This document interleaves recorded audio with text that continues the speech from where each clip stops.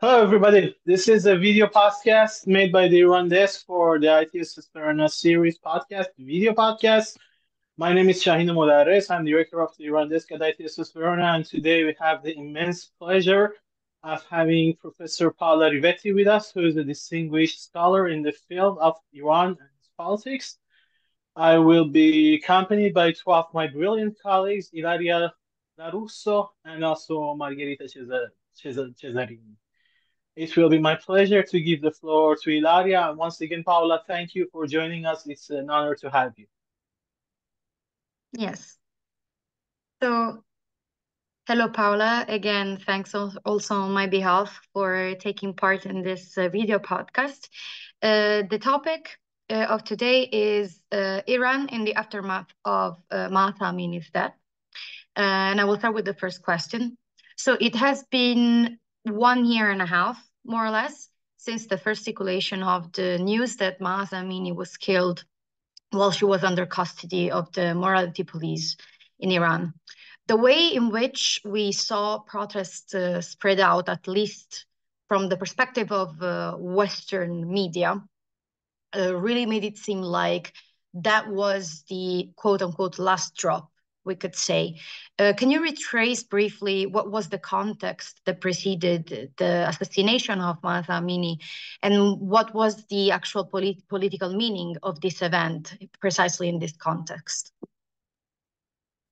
Hi, everyone, and thanks so much for, for having me and inviting me. Um, so it's I, it's very important to uh, contextualize the uh, Woman Life Freedom Uprising uh, of last year in in Iran. Um, so what what happened, as we all know, is that a young woman of Kurdish uh, Kurdish Iranian woman, Mahsa Amini, um, you know, was uh, I mean died while in custody of the morality police, and this um, was the you know was the event that actually um, uh, made this uh, major uh, uprising erupting in uh, in Iran. As we know, it lasted several months, starting in mid-September with the you know the the, the death of Amini, um, and it kind of you know the very last news that we have. Uh, I would say go back to the spring summer of 2023. Um, so um, Mahsa um, Jina Amini's death is possibly uh, you know the most tragic episode not the only one because uh, as you know um, another young woman uh, you know died uh, recently in uh, in Tehran in very similar circumstances.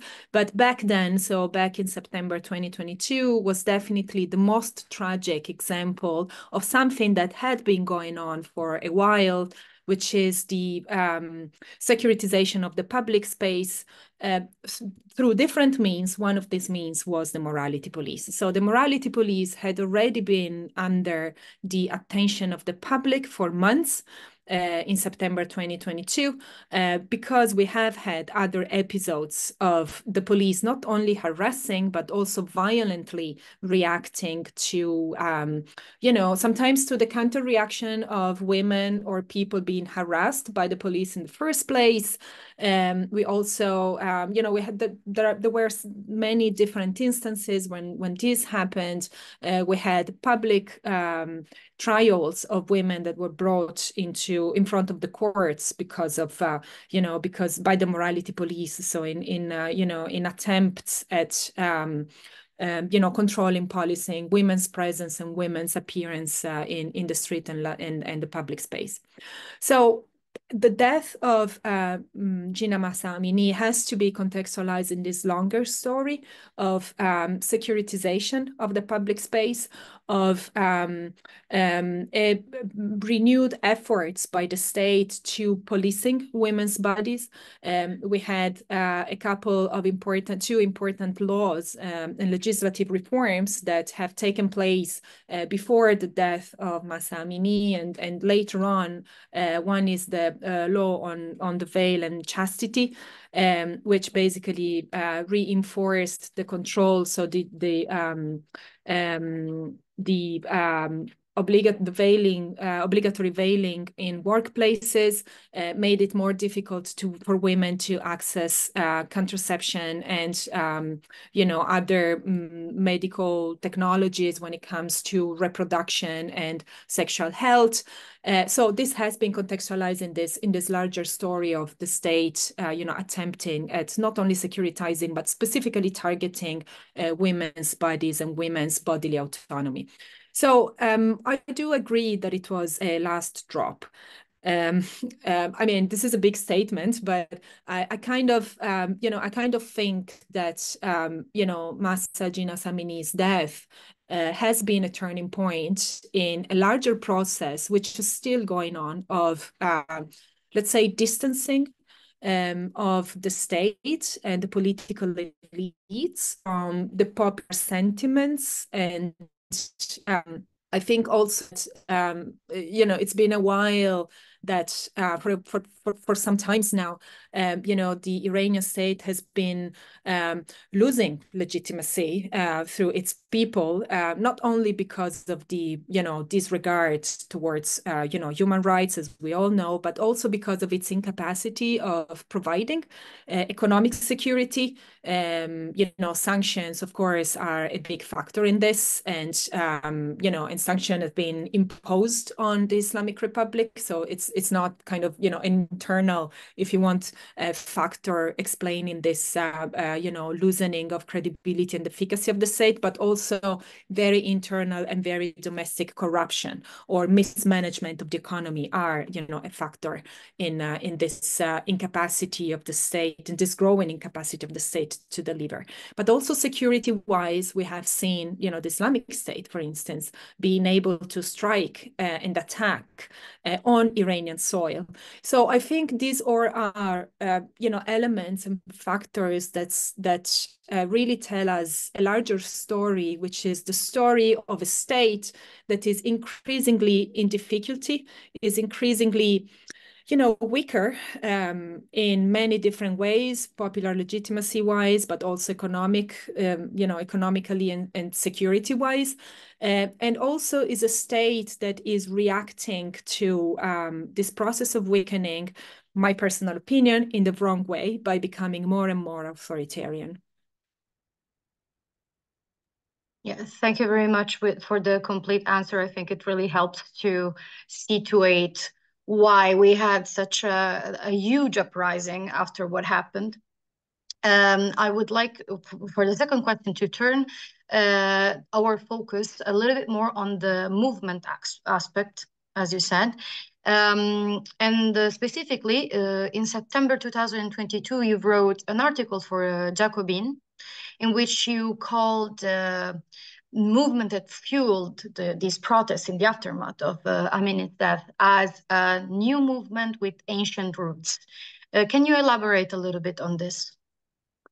Sure. So it's it's it's a move it's a new movement with ancient roots because it builds on decades of um, you know mobilization, feminist mobilization, but not not not exclusively feminist mobilizations.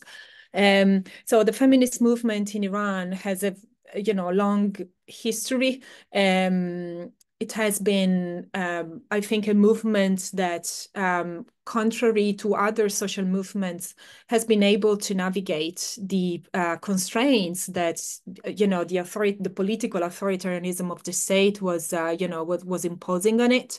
It has been able to uh, change strategy according to the contexts, to kind of uh, you know it has been able to adopt for to to, to kind of um, you know adopt more lobbying like strategies for legal reform, but also at the same time organizing and mobilizing mobilizing when allowed, organizing and mobilizing women in the streets. So it's it's been extremely flexible and able to respond to the challenges that, of course, have been changing with the you know with with the context. So in that sense, it has you know ancient roots. Um, it builds on um, um, it builds on the uh, work that uh, human rights and feminist lawyers such as Nasrin Sotoudeh, and Narges Mohammadi, who are today incarcerated you know, have been doing and have been, um, you know, carrying out across the decades. But it is at the same time very new movement. Um, First of all, it's a new generation. A police report that was released, um, you know, in October, so not that long after the, um, you know, the, the, the protest started, um, declared that the average age of the people arrested was 15 years of age. So extremely young, uh, you know, protesters. Um, of course, I mean, we have intergenerational participation. We have had intergenerational participation, but this is an important element that tells us, um, you know, that there is a new generation that is participating I mean, was participating in the protest that um, I think most importantly has a different relation to the state. Um, so uh, I, you know, this is anecdotal evidence, but you know, for instance, in my work, um, you know, have been going back and forth um, from and to Iran since 2005, and you know, and working on on different topics, but social movements as well, and engaging, you know, activists in different contexts and so forth and so on. I have seen, you know, how um, generations and and uh, political attitudes and political analysis have been changing with the changing of the, the you know the, the change of the generations. Um, the younger generation so um, you know people who are significantly younger than me we're talking about you know people in their 20s if not younger uh, come from a very different uh, you know political experience of the state. Uh, people my age i'm in my early 40s so people of my age uh, you know, had experience of, um, has experienced hope of, uh, you know, an internal reform being possible, has experienced a type of political participation that was somehow related to this possibility of transforming the state, this possibility of reforming the Islamic Republic.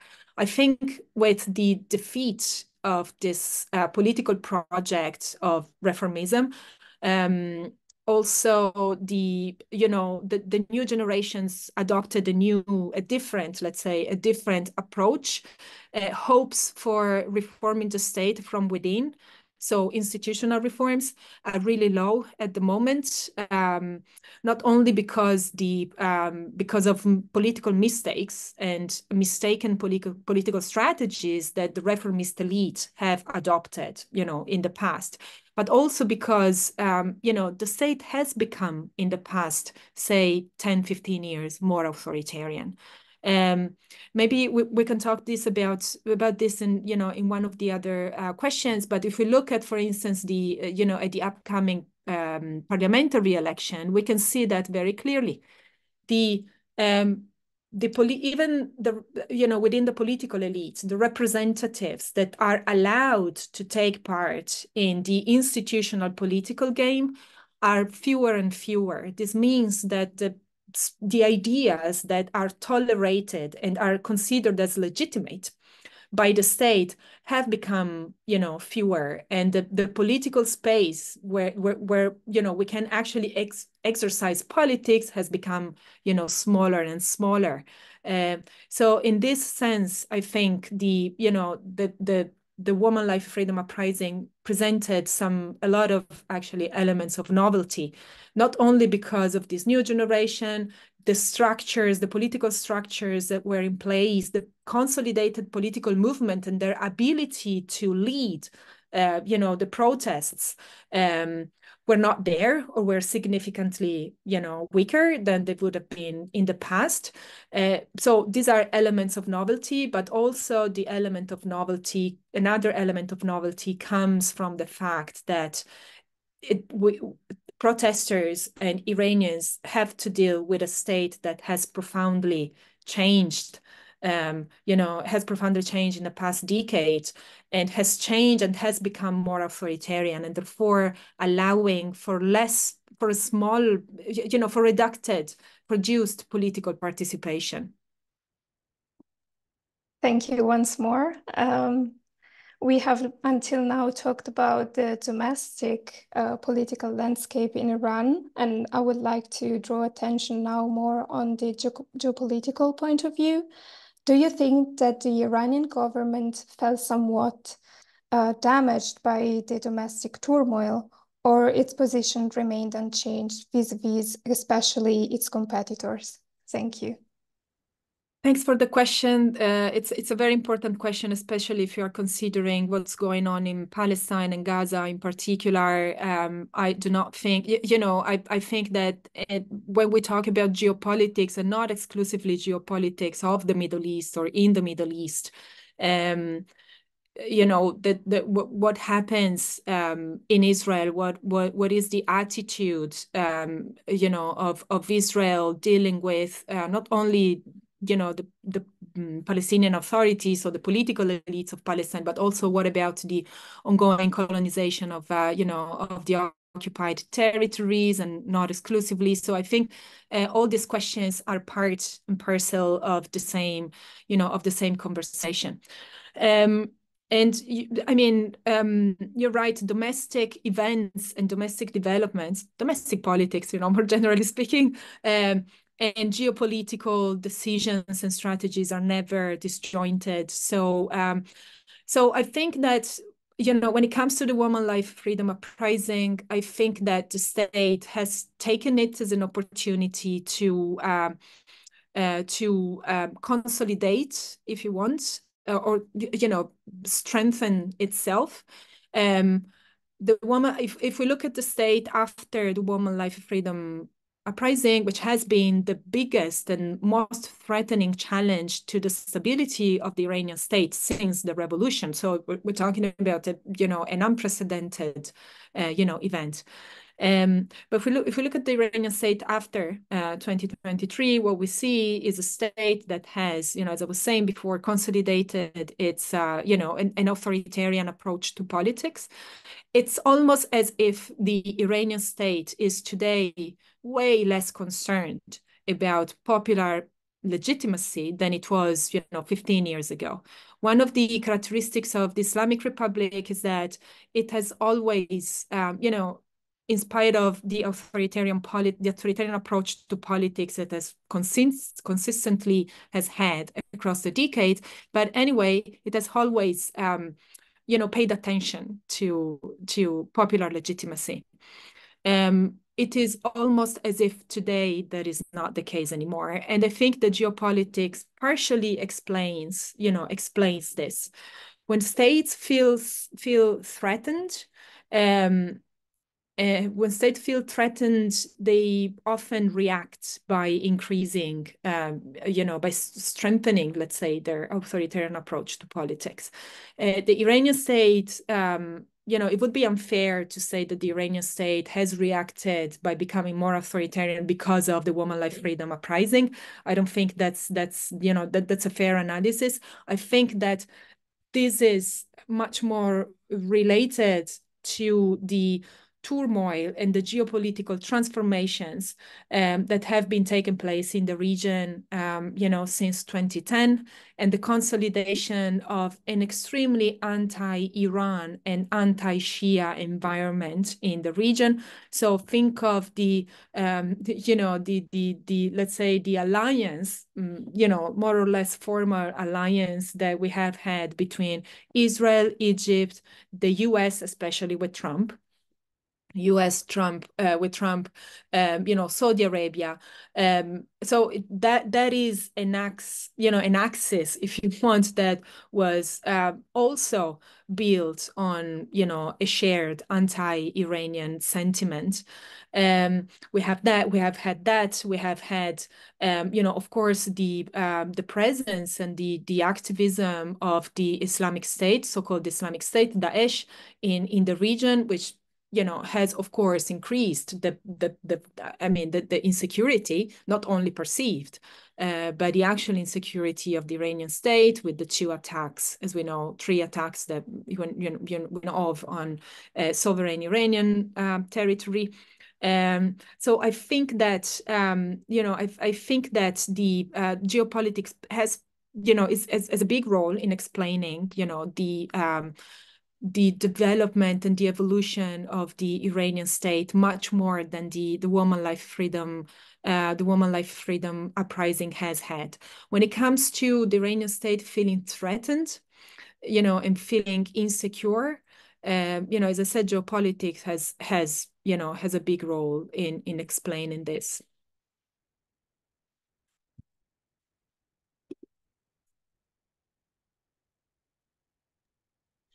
Thank you so much, Paola. You brilliantly uh, described and mentioned the situation that was created after the tragic death of Mahsa Amini event. However, I have two curiosities. First of all, repeatedly you refer to the Islamic Republic as an authoritarian regime. And considering the very fact that you mentioned that the focus of the regime from the political life of bios politicus has been put on the real life or the bios itself, it's a sign of a totalitarian regime. Would you care to uh, describe and uh, elaborate a little on this? And my second curiosity is this considering the existing situation, how do you think the tragic death of Mahsa Jina Amini can change itself into a social transformation in the near future in Iran? Thanks for the question. So if I understand correctly, the first one, um, you know, you want me to elaborate on why the Iranian state is an authoritarian state. Is that correct? Why is why do you think it's authoritarian, not totalitarian? Oh, right. Okay.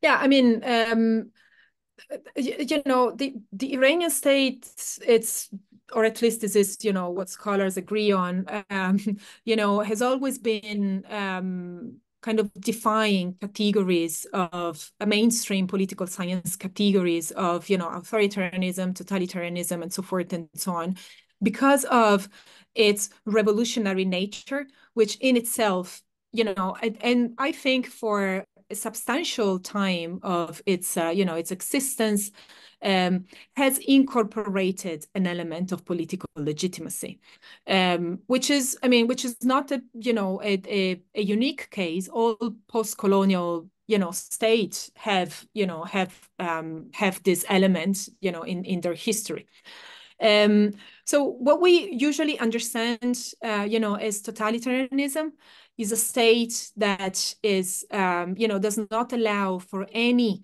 um, any type of political participation, any type of polit even political ideational articulation, so ideology and ideas, you know, opinions as well, um, that can have an actual practical traction in when it comes to political action. Um, so any of um, you know ideational forms of participation that are outside or can be considered critical of you know state ideology are not uh, you know are not allowed. So this is you know usually the mainstream definition of totalitarianism we have seen a very different story in you know in in in Iran in the in the Islamic Republic so since um, 1979 um, not it, this is not only a story of uh, you know revolts, uprisings, you know smaller, bigger uh, mobilizations, but it is also a story of um, forms of political participation that were critical of the state, um, sometimes extremely critical, that were to you know, larger, lesser extent tolerated that even incorporated for part of the, you know, of the life of, of the Islamic Republic, even incorporated into, um, you know, into institutional politics. Uh, so this is why the Islamic Republic has been referred to as an authoritarian state, sometimes as a hybrid authoritarian state with elements of democracy, such as, you know, um, um, parliamentary life, um, elections, and so forth and so on, along with elements of authoritarian, you know, politics. Anyway, a limit is put on, you know, on, on, on participation. There is a screening of candidates when it comes to electoral politics and so forth and so on. So as, as I said before, I I think that the Islamic Republic is going, you know, a slightly different direction at the moment, which again is not very dissimilar from the direction that other states in the region, and not only in the region, in Europe as well, in North America as well, in Brazil, in Latin America, uh, and so forth and so on, are taking, which is a, becoming a much more authoritarian state. So restricting significantly, uh, you know, something that we can call the, the political, the the political space that is actually actionable. So where you know people on which people can actually in a safe way uh, organize and mobilize. This is not different from what is happening in italy. This is not different from what is happening in france you know north america. So in that sense the you know iran and the islamic republic are not on mars they are located you know in the world and of course are part of large geopolitical uh, you know development and evolutions um, and evolutions. Um, so when it comes to the last questions about what are the possibilities for let's say future reiteration of um, you know of something like a, um, the woman life freedom uprisings or even um, you know, a kind of a more more concerning or bigger challenge to the stability of the Islamic Republic. I think that at the moment uh, there are very little possibilities, um, mostly because of you know the junction of a in a geopolitical situation that is you know kind of puts states alarms the states so the reaction of, you know, as I said before, a lot of the state is the one of becoming more authoritarian, therefore more controlling, and therefore more repressive of forms of, uh, you know, dissent, forms of organized, you know, politics. Um, there is often this, uh, you know, this contradiction, which is a contradiction we also see, I think we also see in Italy, um, but you know it's if you if you participate in a university class in in Iran you will see an extremely open environment and you know people voicing opinions that are you know that would not be perhaps safe to voice in you know in the public. But what i'm trying to say is that it's the the way in which the state controls opinions is very different from the way in which the state controls organized politics. The problem is organizing politically is not voicing, you know, critiques of the state. That is no problem. The point is when those critiques you know are put in practice and are practiced as you know as as actual politics as actual opposition that's when you know things become uh, less acceptable and less tolerated Thank you so much. Once again, thank you so much, Professor Paola Rivetti, for joining us and the rest of you for watching us. Stay tuned until our next podcast. Thank you very much for having me.